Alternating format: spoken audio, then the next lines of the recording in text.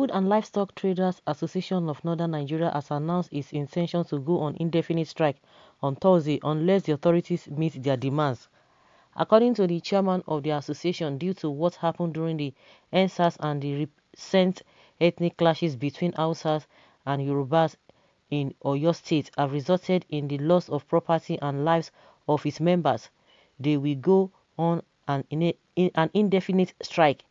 He said that the government had not yet committed to the incident and have not also commented on compensation.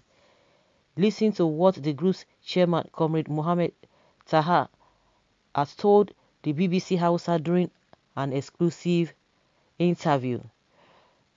During so many occasions, these Northern Association traders had been threatening to go on strike, but due to one thing or the other, they always change their mind. But this time around, the chairman of the association has made it known that the strike will, will be indefinite.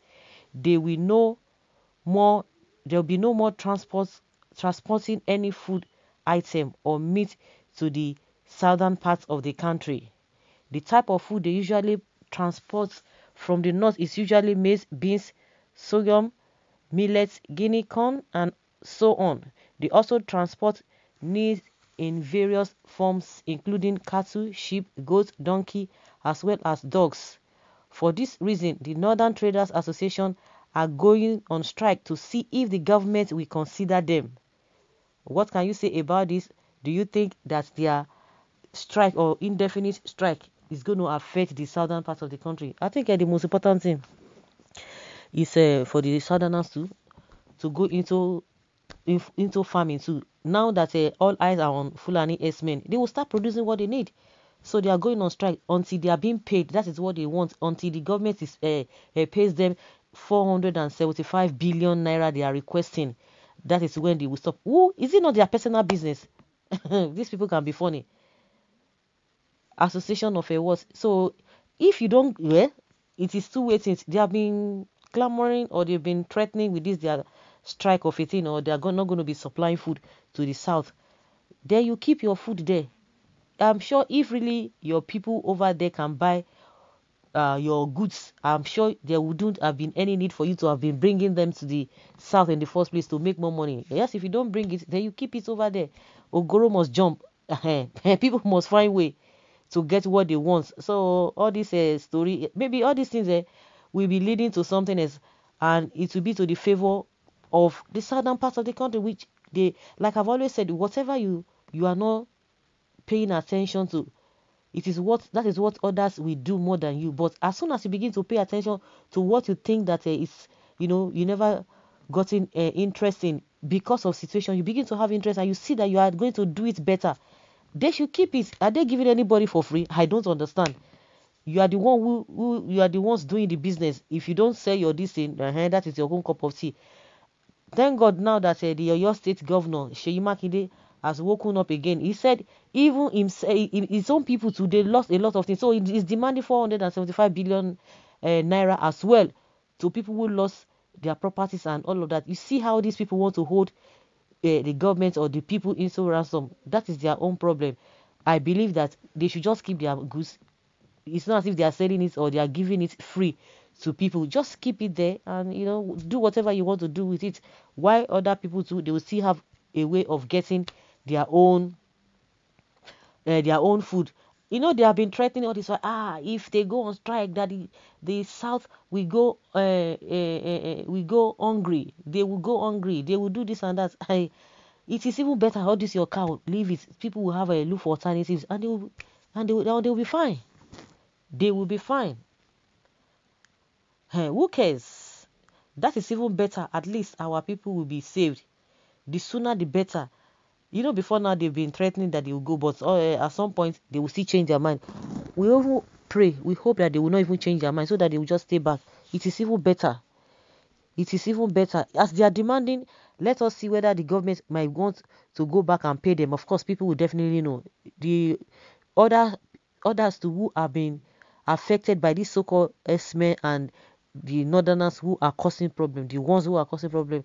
Yes, the people too they will request for their own compensation. they are forming victims here.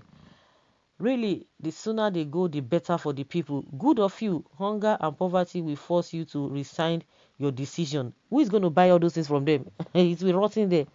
Uh, uh, is it today? is it today? Hmm, nothing we must, nothing we must no go see. Uh, when Musa no go see for gates. That will only multiply your poverty. Oh my goodness.